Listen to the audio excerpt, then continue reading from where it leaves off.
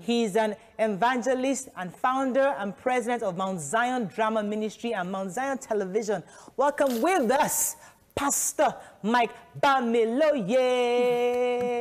Good morning, sir. Are you there? Good morning. God bless Good you. to have you, sir. I'm told Monday is actually your birthday, Yes. but we are talking to you today. So today is Good Friday. How are you doing today, sir? What are you? very fine. Thank you very much. What are your plans for today? Eh, Good actually, Friday. we are staying at home and praying and rejoicing and thanking the Lord.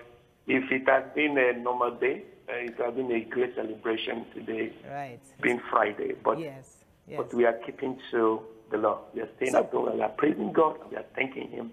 Okay, before we Yeah. get into your birthday plans and celebration for Monday, we'd like to take you to your recent article where you said that this season, this season of COVID 19 stay at home lockdown, is a dress rehearsal to the real um, coming of, um, Second the, coming. of the, the second coming. I'd like you to um, so help us understand better because there's been a, an online war now going amongst pastors. People are saying, oh, it's 5G, uh, is, the, is the indication to, lo- to the uh, end times. Others are saying COVID 19 is actually the Antichrist um, you know, all sorts of arguments going on out there. I'd like to hear your own views on this. Actually, my view um, is very simple, and it's just that um, for an, an average every child of God presently, and according to the principles and the doctrine of the Lord Jesus Christ, uh, we believe the Lord Jesus Christ is coming soon, very very soon, and then that is in the rapture. So the belief is just that um, the, everything that is happening now is preparation towards the rapture of the saint. That is that is what I believe according to the scripture, and that and after that one, that uh, there may be crisis, there may be problems, there may be uh, negative situations and the pandemic, and uh, so so I said that what is happening presently is just for us to sit up and pray more and look and look up towards Christ and amend our life, because what is going to come after all this, when the Lord has taken His children home, is going to be more terrible than this one. So that's why I call it dread rehearsal. Okay, all right, So, go ahead, Mariam. so the government is having a hard time having people stay at home, you know, Yeah. because of uh, the guideline, which is stay at home, don't go to Yeah. churches. And I would like to hear from you. What do you think? What would you tell your congregation? Um, what would you tell Christians now? Should they stay home? Or should they still find their ways into church and just be in church? Maybe the second coming will come and take them straight from church. Who knows? No, no, no, no. it's our responsibility to obey the government. A good Christian will obey the government. And when you look at the news all over the world, you discover that it is even more severe in some other nations like Spain and Italy and UK. They don't want you outside at all. So if the Western nation, if the European nation, that advanced countries are keeping to this, and, and, and, and as a way of, of curtailing the dreaded disease. We want, to, we want to thank God that everything is still a bit normal here. Mm. We have not yet got discouraged so much. And, uh, and so to curtail it, it is very, very advisable for us to do the simple thing. The simple thing is just to stay at home. Though it is very difficult, but we just have to do it because that is what the normal countries, advanced nations are also doing. Right. So I will advise my people to stay at home too. So, based on uh, um, bringing back to what you said, this is dress rehearsal. Um, people are saying that this is rapture. As a Christian and a born again Christian, this will not come close to you. So, we have religious leaders also pushing the narrative that as a Christian, you can live your life anyhow you want to. The grace of God will protect you. People are praying and saying that the blood of Jesus is on, the, on their doorposts nothing would happen to their household. While as a Christian, I understand that, but I also do not want us to push the narrative that will make people get careless about protecting themselves. I know that you're a respected figure in Christendom, and I'd like you to put a message forward to people that have that mindset that this is rapture, I will go to heaven and I will be safe, or no, nothing will come to me because I am a child of God. What would you say to such people now? No, no, this is not right. It is not rapture yet. First Thessalonians chapter 4 verse 15 says that the rapture that um that, that the, the, the, the believers in the Lord Jesus Christ the fear will go and make the fear. So it has not happened yet. It is not yet rapture. So I would just say that we should obey the government because because that law is to our advantage. Right. The instruction is to our advantage. Pastor, Our health. right. Pastor, people have said that church worship, going to mosque, would never remain the same again because um, times like this, people are now realizing that the church is the people, not so much the buildings. Um, people are saying that um, it might be difficult for pastors or church members to start saying, let's have healing services or uh, you must pay your tithe and offerings because people are now realizing that, okay, maybe um, the tithes and offerings should have been used to build hospitals, or maybe we should have actually um, put more emphasis on house fellowshipping than even the big, big buildings. As a pastor, uh, you own a huge ministry. How would you react to these um, lines of think of the lines of thought? And actually, number one, I'm, I'm an evangelist. I do not have a congregation. I don't have a church building, but I worship also in a church. I have a. That's number one. Number two, is just that um, we don't know how it's going to be after this event. But one thing is very certain, that people are more conscious of God now. Yeah. That, that, that is very certain. See a lot of people, even on social media, holding house fellowship. Mm-hmm. So we believe that at the end of all this, there's going to be the love of men getting closer more to God. See, That, that, that, that, that, that consciousness of God. We are all praying, having, asking for mercy, for, for more protection. So I believe that at the end of all this, it may not reduce, it may not reduce consecration, it may not reduce dedication, but it may increase awareness and consciousness of God. There are pictures of some countries whereby people, people praying and worshiping God in the middle of the road. People are crying and praying and asking God for mercy. Because we don't have the vaccination yet. We don't have the vaccine yet. We don't have the solution yet. And in some other countries, things are just getting more worse. But in our own case, we know this is the mercy of God. And we believe that. I'd like to- will love God more, I believe. Let me go on a quick break. When we come back, we'll continue our conversation with you. Stay with us. We'll be right back.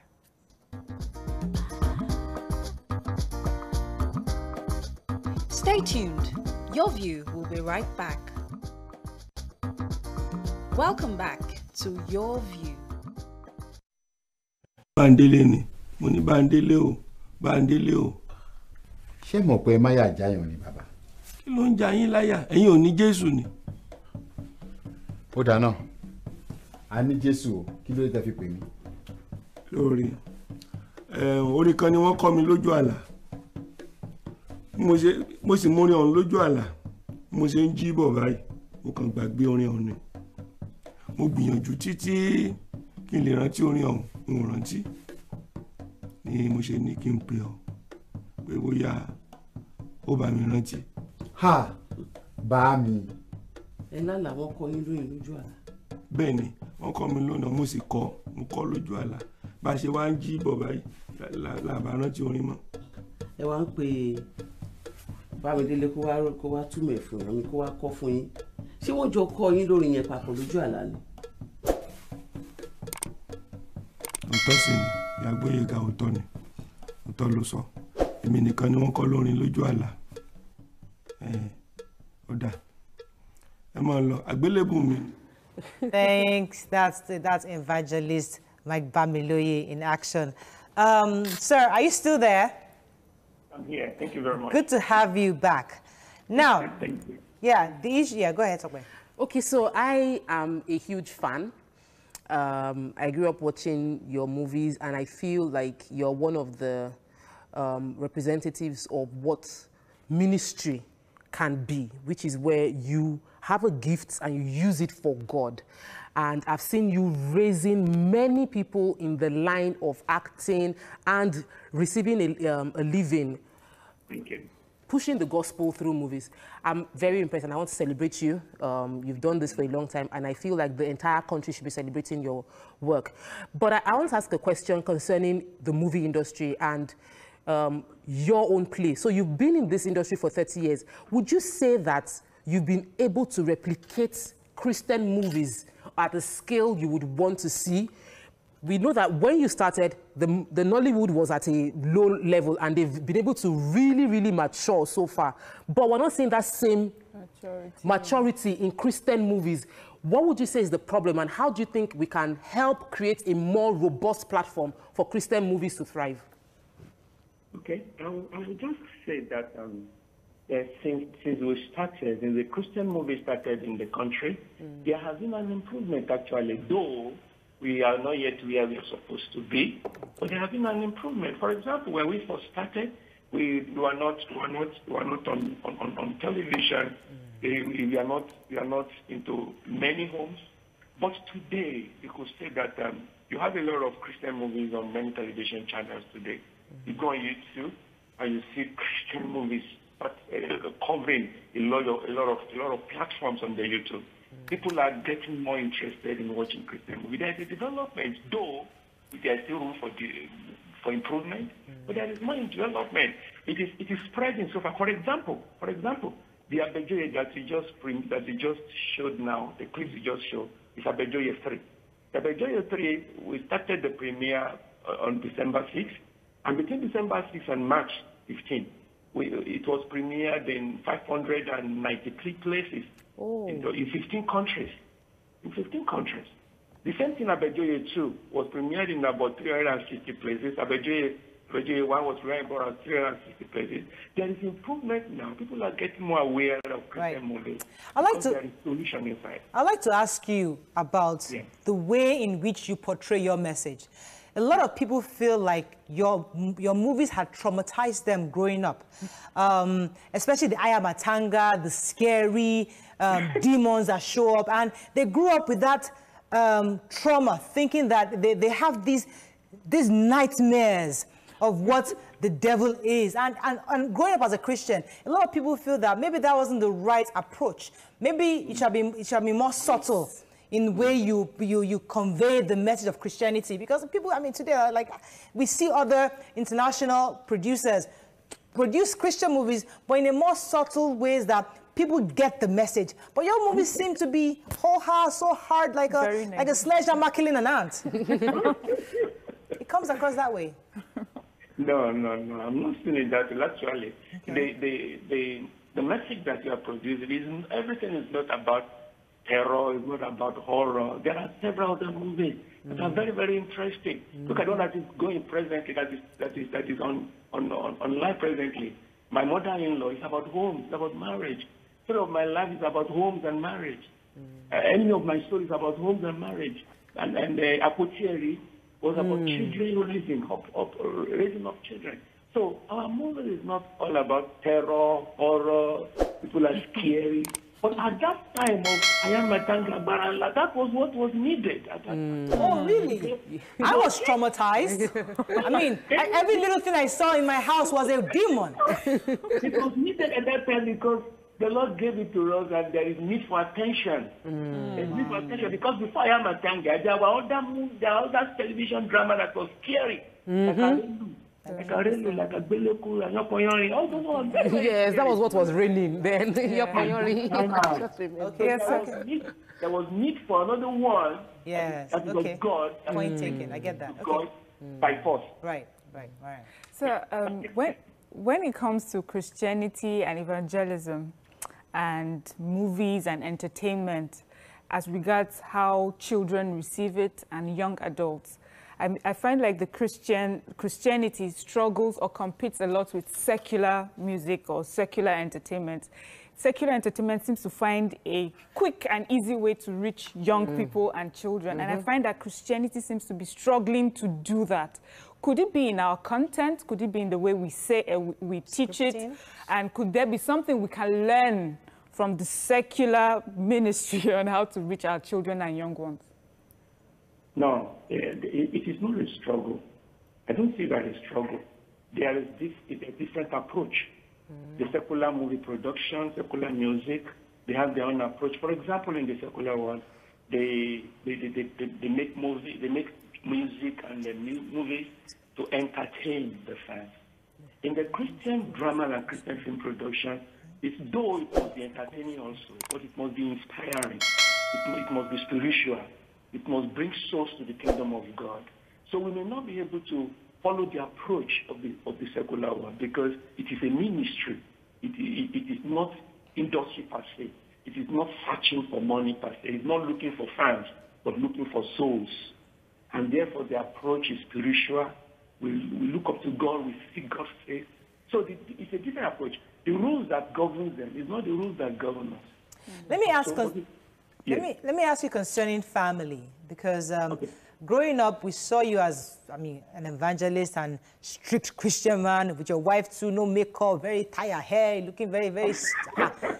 when I see your wife, I'm like, yes, this headmistress kind of person, you know. But I like to hear your story as how you raised your children because today many people are coming up with all these uh, parenting um, techniques here and there. But you have grown children. You, we- you were, they took, they, they were born into Christianity and, and that whole, uh, that family of, of prayer and all that. So, And your and your children, so we, ministry. so we know you, you've, we've seen the track record of you having children in ministry and now today, they are are also already in, in that What did you do differently? Because what we are used to is pastors' children, children for pastors, Run away. They always run away. They, they always derail from the hmm. ministry. How did you get to your kids to do what you're doing? I, I, I would say it's just like the help of the Lord. was Number one is that I, I though though I, my my mom my mom was a Christian, was, was was very fervent, but I wasn't born so much like that into Christian homes. My upbringing was very bad because I live with different types of people. My mom died when I was very young, four years old, and my dad was not a, was, away, far away in the north. Hmm. So, but my elder sister, uh, I was living with her, and she took me to various places because she too was growing at that time. Hmm. So the beginning was so rough, and so the so I, I was introduced to different type of bad life at the beginning hmm. from age seven, until I knew Jesus Christ at the age fifteen, and and so that was when my experience with Christ began. But to now speak about how the family, how my family was raised, I, I've been in the ministry since when I was 25 years old, mm. and that fear of God helped me to make the right choice of a woman. I, I got married in 1988, but it was by the help of the Holy Spirit that I was able to identify who my wife was supposed to be, and I was very lucky to get the right person, and that is my wife. And so with that help, I was able to raise my children.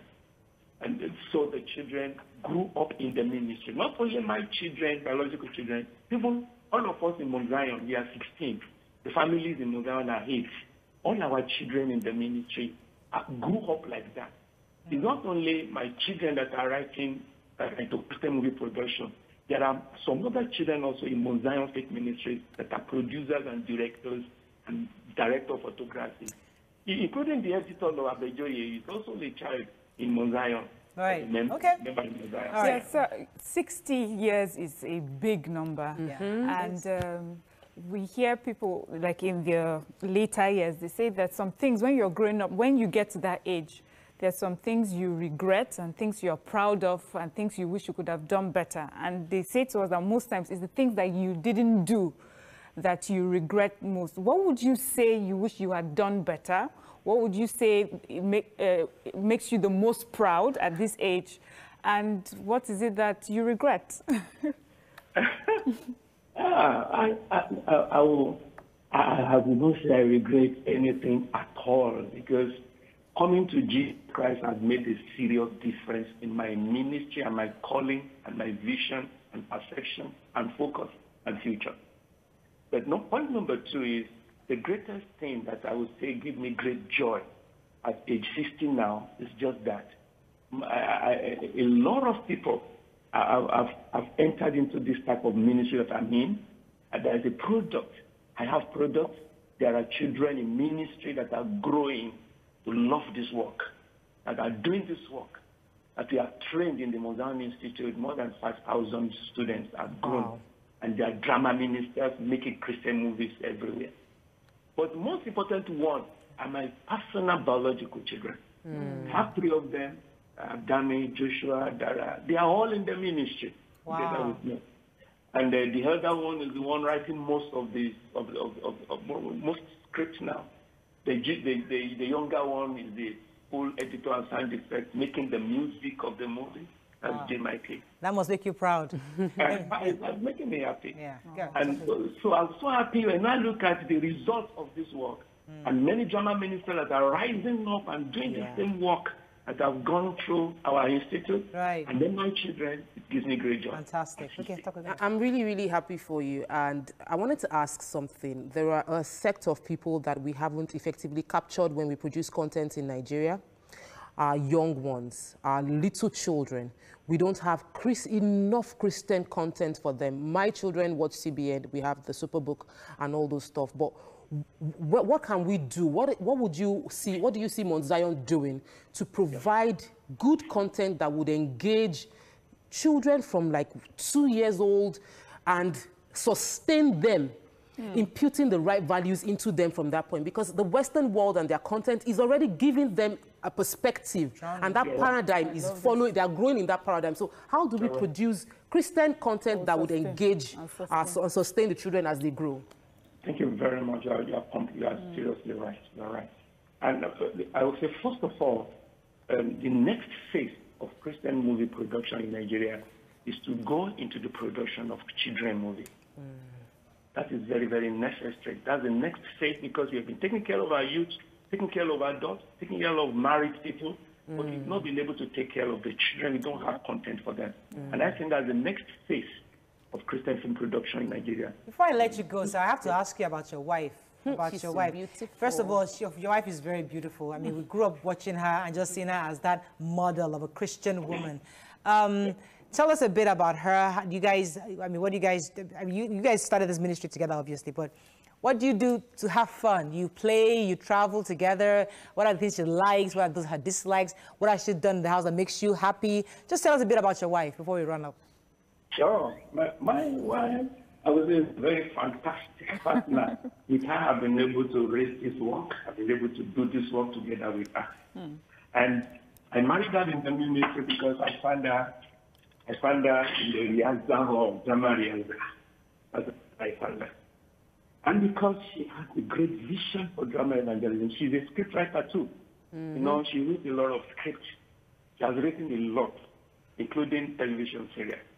I would say that um, apart from being busy with the ministry, she played a great role in bringing up these children.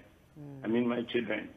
She gathered them every morning whenever I'm, I'm, I'm not at home. I'm at home, they respect her because she's like a prophetess in my house. Oh. That's so the nice. great thing that I love about her. So you guys look so perfect, as in. So, sir, let me ask you this nice question. Is it that you never one. fight? Ah, so there's no fight. You've never had alcohol in your life. You never drank before. Alcohol? Yes. Have you ever tasted Ah, alcohol? ah, before I knew Jesus. Before 15 years old, you used to drink. Yeah, before I knew Jesus. Ah, I, I, I came to know Jesus at 16, but before then, I did so many horrible things.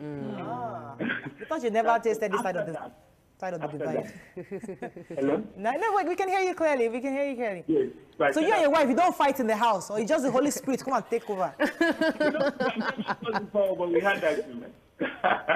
You have arguments. Wait, wait, wait. Let go this way. No, I think it is this way. No, don't say the same this way. But I see the Lord is saying this way. So, and at the end, there is submission, mm-hmm. either from our side or from my side.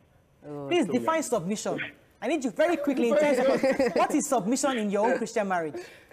Yeah, my submission in my own Christian marriage is having spiritual understanding of exactly what the mm-hmm. Lord wants us to do. And the wife is a submission of the husband agreeing with what the wife says. The submission is on both sides. Ah, you see. Please repeat that last sentence. Repeat, because many Nigerian men don't understand it. Submission is where?